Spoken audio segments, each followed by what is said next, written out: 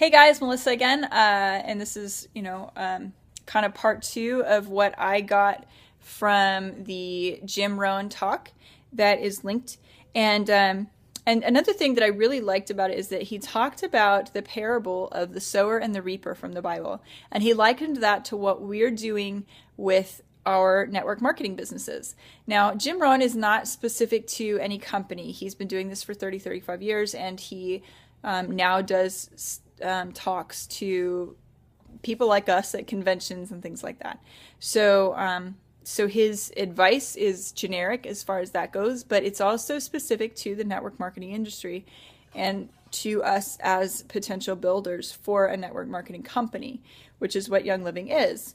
So when he talks about the sower and the reaper, um, the story of the of the parable of the sower and the reaper from the Bible talks about a man who is essentially a farmer and he has really good seed. So he's starting with a good product already, which is what we have. We have a, a, a life changing, phenomenal product. Um, you, you're you're not going to get better essential oils than what we have with Young Living. We are the, the company that has been around for longer than any other company on the market. We have more options available than any other company on the market. And I mean, ob- honestly, we're so different as an essential oil company that the FDA doesn't even have a slot for us. They don't have a slot for oils that are pure enough to use both topically and internally. And ours are there. So here's the parable of the sower and the reaper in terms of that. We have a great product and we are the farmer and our seed, our great product is either our business opportunity um, or our oils and the life changing benefits that you can find. So the sower takes and he throws his seed out on the ground. And he's going to throw a lot of seed because the first 10% of the seed, some of the seed is going to fall on bad soil.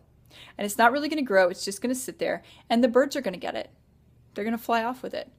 Now, what does that mean? That means that some of your people that you invite to a meeting, you can invite them 10 times and they'll say 10 times, I'm going to be there this time. And they never are. The birds got him.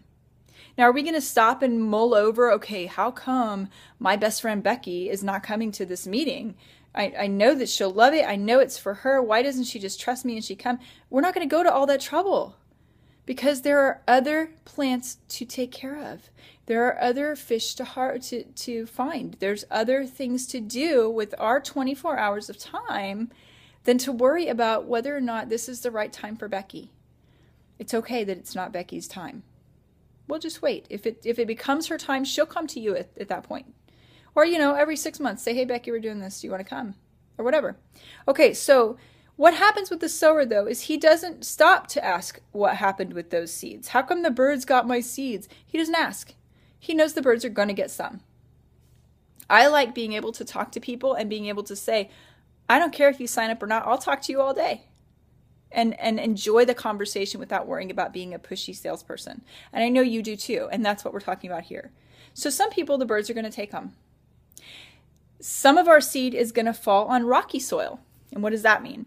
That means that they might sign up, they might get one or two bottles, or they might get the basic kit, not even the premium starter kit, just the basic kit. Or they might get the premium starter kit and come to a meeting or two. But as soon as your grandma's second cousin's uncle's father says that they read a bad article about Gary Young or they read a bad article about network marketing being a pyramid scheme or whatever, they're going to jump. They're going to go. They're done. That's going to happen. It's going to happen. There's no two ways about it. Sometimes it's going to happen to two or three of your leaders all at the same time, and that's just the way it is. I'm not going to stop and say, How come, how come, how come? Honestly, I've done that. It doesn't help me any. You know, what helps me is getting on the phone and saying, Hey, can I help you? Or how can I help you? Or what can I do for you? And some people I can walk them through the problem or the issue and we can find a way to come at, back to a, a certain point of wanting to build. But you can't push a horse to water. You can you can lead from the front. You can't lead from behind. So I'm going to keep going. I'm not going to stop to look behind me and see who's who's following. I hope you will. I hope that you're part of my journey and I hope that I can help you in your journey and I'm glad to be up there and, and to to go with you, to walk alongside you. But I can't force you to drink from the fountain. Okay, so next you have some of this. The sower's going to keep going. He's not going to question how come, how come. He's not going to ask why does the sun rise and set every day. Some of our good seed is going to fall on thorns, which means that they're going to join, they're going to jump in, they're going to have four or five or six signups all in the first like month or two and it's going to be exciting and it's going to be really heady and they're going to get a commission check and they're going to be your next big builder. And then family life's going to get in the way or something's going to happen, a big move or um, some kind of, you know, life event is going to happen or something and the th- that's the thorns, that's the weeds. They're going to kind of press in for a while, and that builder is going to fall off, and you're going to wonder again, what happened? You were going so strong. You were my second leg. What happened? And if you take time to wonder and to worry over that second leg not really pulling their weight anymore, you're going to miss the fact that leg number five down there is an up and coming person and that they need your nurturing and they need your your your extra time and your extra attention to get to where they're going. You're going to miss that because you're so busy trying to pull those weeds and get those thorns out of there. You're going to miss it. Okay, and finally, finally, a certain percentage, a certain portion of your seeds that you throw out there to the world and to the ground and to the cosmos and to the people around you and in your world of influence are going to fall on good soil and they're going to create deep, deep roots. And they're going to decide that this is the way that they want to proceed forward in their lives, to get extra time in their lives and to get extra income in their lives and to leave that crummy job at the local Denny's as a as a waitress and a waiter out. They don't want to have to deal with that anymore. They don't want to have to worry about, you know, whether or not, you know, the next customer through the door is going to be the one that's going to blow their day because of a bad attitude or whatever. They are going to they're going to make deep roots and they're going to make a plan and they're going to look out there and they're going to start sowing their own seeds and they're going to determine that no matter which way the wind blows, no matter what happens in that 24 hours, they're going to be part of this industry of network marketing and of young living as a company and that they love the product so much that they're not going to stop at anything before they've shared it with everybody they know.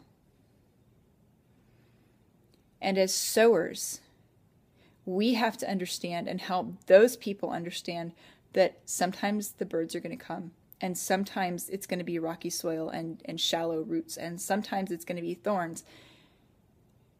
And it's just a matter of putting more seed out there and not worrying about whether or not that person is the sun that rises and sets every day. Hopefully this has made sense to you. Hopefully you will go and listen to that hour long presentation. It's definitely worth your time and worthwhile. He gives you some steps to learn um, some things to to practice and some skills to to try to gain in terms of being a network marketer and in terms of being a successful network marketer. And it, he just it's really really worth your time. So um, otherwise i will see you in the next little video and i hope these are helpful to you. And thank you again for being part of my journey and for letting me be part of your journey and help you and and and giving me the opportunity to serve you. So have a great evening and um, have a great week